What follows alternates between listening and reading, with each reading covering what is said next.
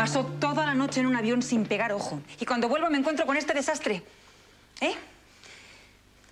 Quiero saber qué es lo que ha pasado en mi ausencia. ¡Pero ya! ¿Cuántas juergas os habéis corrido a mi costa? ¿Eh? ¿Cuántas? Debería echaros a todas. ¿Dónde está María? Es su día libre, señora. Ya. ¡Tasha! Alicia, mira la flor. Doña Elena. El día libre de María y el de todas, por lo que veo. Eh, eh, pero usted no estaba en San Román. Sí. Y he vuelto después de nueve horas de viaje. Y cuando vuelvo, en vez de estar a lo tuyo, estás comprando flores por ahí. Es mi cumpleaños, señora. Justamente. ¿Qué es su cumpleaños? Eso lo explica todo. Menudo acontecimiento, tu cumpleaños. Es que como no tengo a nadie aquí, pues a Jennifer se le ocurrió que podría estar bien comprarme unas flores y... Eh, eh, es que yo, yo, señora, mejor que nadie sabe lo que es estar lejos de la gente que uno quiere. Entonces, pues, se me ocurrió... eh, flores, velas... Y se le olvidaron las cosas en su dormitorio. Eso. Le pedí que me echara una mano con la limpieza. Como Claro. María no está, pero... La pobre quiere, pero no sabe. Fue eso. Ay, ay, ay, ¡Basta las dos! No quiero escuchar ni una sola palabra más. Me estáis reventando la cabeza. Tú, recoge toda esa porquería que quiero acostarme. Inmediatamente. Y dile a María cuando llegue que me vea. Sí, señora. Y en cuanto a ti, ya hablaremos. No quiero volver a verte nunca más en las habitaciones, ¿me oyes? Nunca más. Ya hablaremos. Sí, señora, sí.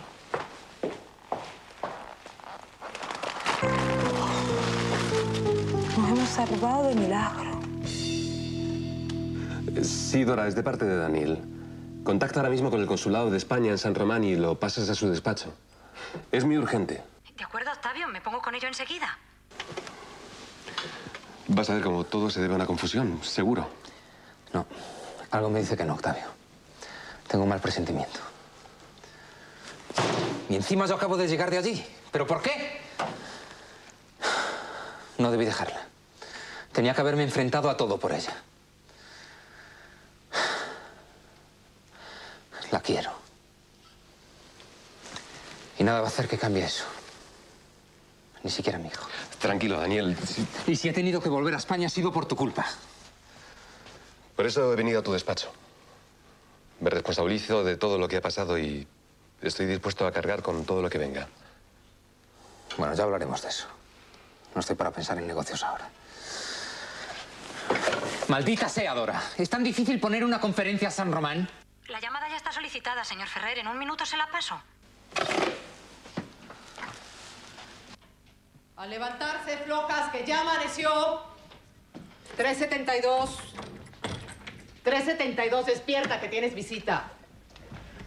372, ¿qué estás sorda? ¡Chamita! ¡Chamita! ¡Despierta! ¡Ya llegó, ya llegó! ¿Daniel? Sí, sí, tú, Daniel. Vamos. ¿Daniel? Apúrate que te esperan en el locutorio. Sí. Sí, sí, sí. Toma, toma. Ponte bonita, toma. Pon la boca. Sí. Ha venido. Sí. Gracias. Ay. ¿Estás seguro? ¿Y no sabe el motivo? Pues porque conozco muy bien a la señorita Torres y le aseguro que es incapaz.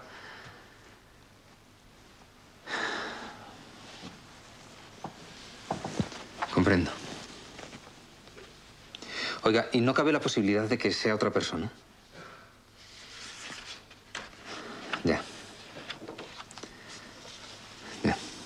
Muy bien, gracias. Parece que las noticias no son muy buenas. ¿Y te han dicho el por qué? ¿Qué va? Nada. En el consulado no tienen ni idea. Bueno, tienen una copia del ingreso en prisión de Clara Torres, pero mientras no finalicen las investigaciones no, no dan ninguna información más por teléfono.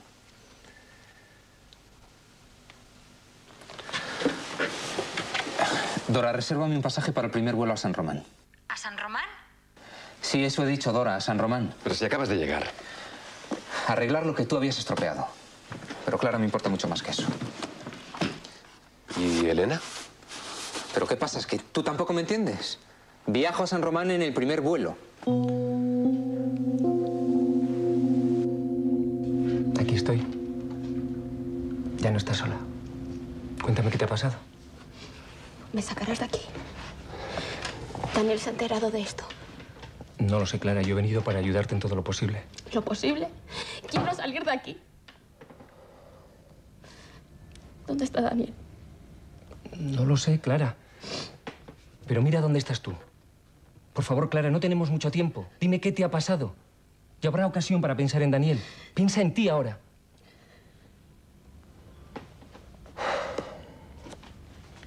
Vamos a ver. ¿Cómo llegó la droga a tu maleta? No lo sé, no lo sé. Por favor, cálmate. Dime solo una cosa. Daniel sabe que estoy aquí. No lo sé.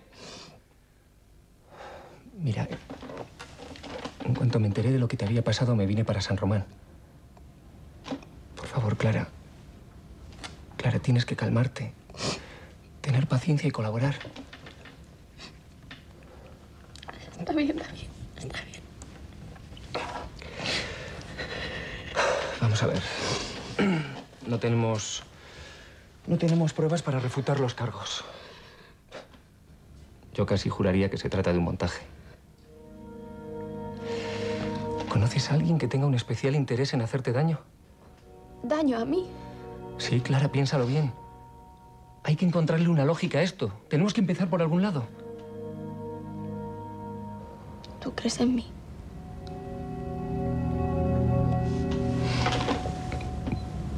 Supuesto que creo en ti, Clara.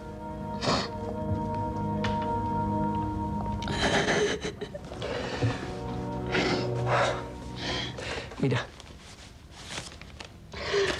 Mira, te... Te he traído unas cartas de tu madre y, y también de Nuria. Créeme que entiendo por lo que estás pasando.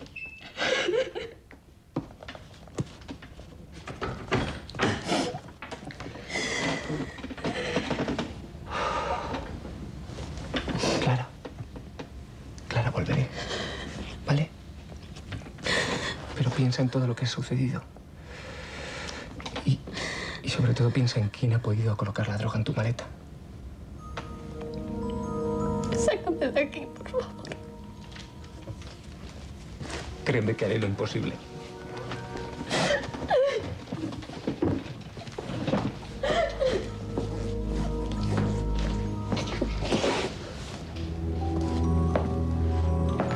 ¿Qué tal le ha ido Clara Torres, señor Pavella?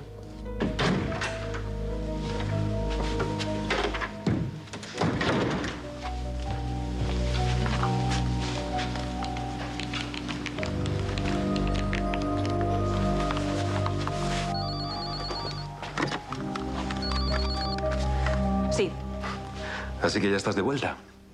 eres un necio y un irresponsable. Pero ¿cómo te permites arruinarme la vida de esta manera? ¿Eh? ¿Pero qué dices? ¿Arruinarte la vida precisamente yo? ¿Tú?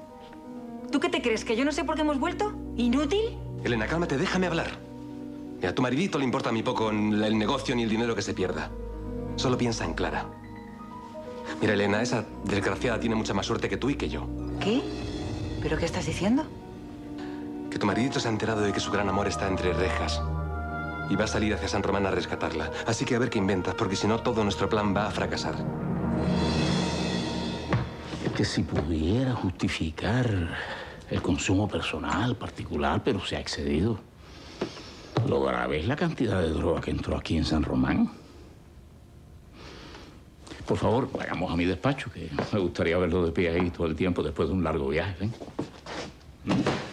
Agradezco su interés, pero no quiero hacerle perder más tiempo. Bueno, a mí no me hace perder ningún tiempo. Para mí es un placer conversar con un joven colega de la madre patria. Ya. Muy bien. Discúlpeme que sea tan directo, pero ¿qué posibilidades hay de que Clara Torres sea juzgada en España?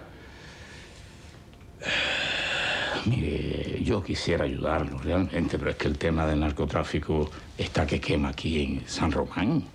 Además, es un delito no escarcelable, con penas gravísimas. Y los Estados Unidos nos han presionado muchísimo con relación al tráfico de drogas. ¿Los Estados Unidos? Claro. es que San Román se ha convertido en un puente que los narcotraficantes usan para introducirles la droga. Y sobre todo en Miami. Entiendo. Pero le puedo asegurar que Clara Torres es una persona de bien. Es evidente que alguien la utilizó para pasar la droga, camuflándola en su equipaje. De ahí mi interés por llevar el proceso a España, que es donde se supone que se cometió el delito. Sí, lo que pasa es que las leyes de San Román se remiten a las pruebas encontradas acá. Mire, lo que mejor puedo hacer por usted es recomendarle un buen abogado local para que lo asesore y para que asuma la defensa formal de Clara Torre aquí en San Román. ¿Mm? Se lo agradezco mucho, pero el consulado español se está ocupando de ello. Estoy seguro que ellos sabrán manejar muy bien la situación.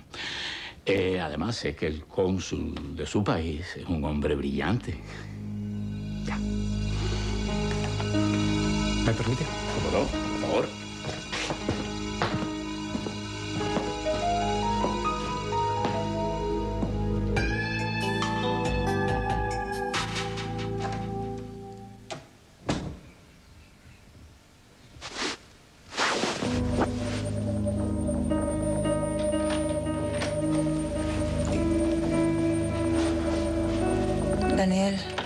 ¿Eres tú?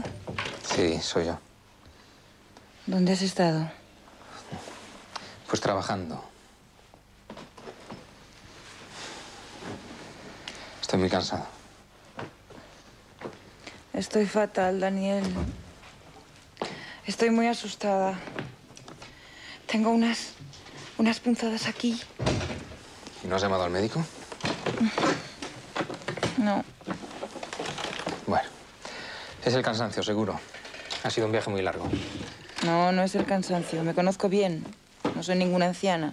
Llamaré a tu madre para que venga a acompañarte. ¿Y para qué necesito yo a mi madre? Vas a tener que quedarte algunos días sola. ¿Por qué? Tengo que volver hoy mismo a San Román. ¿Cómo? Sí, lo que has oído. Pero... ¿Pero cómo que a San Román? ¿Si acabamos de llegar? Acabo de estar reunido en la empresa. El negocio que dejó escapar Octavio se ha ido de las manos. Sin embargo... ¿Pero qué clase de, de- qué juego es este, Daniel? Me has sometido un montón de horas de vuelo en muy pocos días. Y ahora de repente así, porque así decides regresar. Eres un irresponsable. Ni mi vida ni la de mi hijo te interesa, ¿verdad? Bueno, vamos a ver, un segundo, Elena, porque yo ya no entiendo nada. Tú has ido a San Román porque has querido, ¿o no? Pero no te ahogabas en San Román, Daniel. ¿No decías que era mejor que estuviéramos en Madrid, eh? ¿Qué pasa? ¿O soy yo la que te ahoga?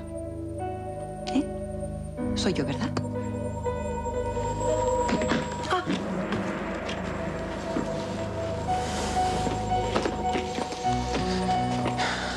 Volveré pronto. No te pasará nada.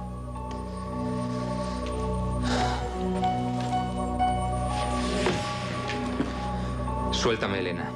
Voy a perder el avión.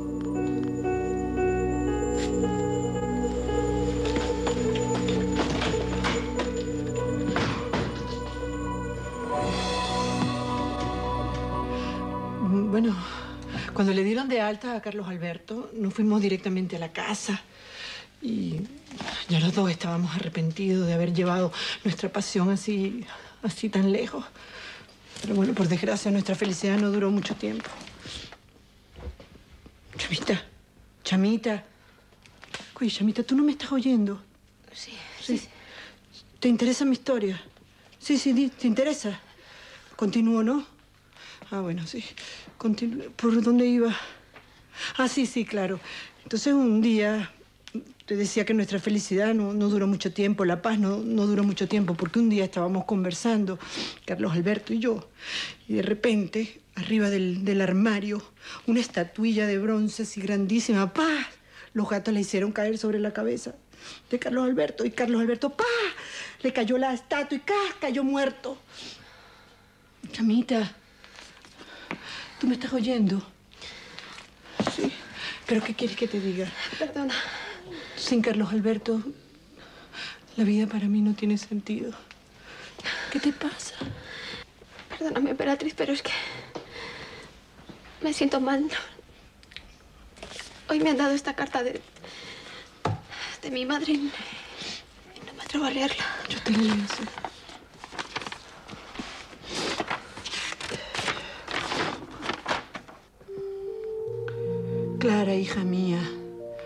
Sabía que ese viaje loco tuyo no terminaría bien.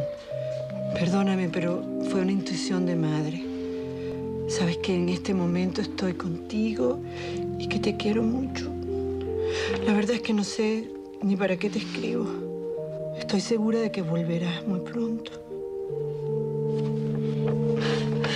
Las madres siempre nos hacen llorar. Bueno, ellas también lloran, Clara. No como la mía, que se jugó con, un italiano marinero cuando yo tenía cinco años y me abandonó.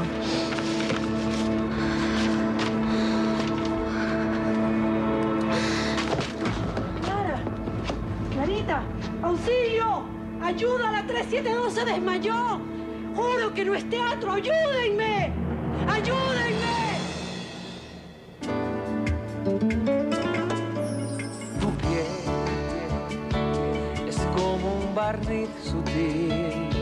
Un tul que todo lo envuelve.